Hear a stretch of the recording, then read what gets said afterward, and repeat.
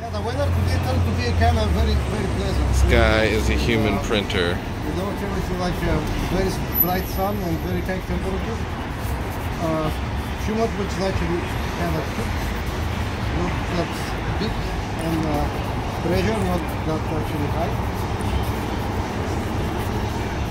actually high.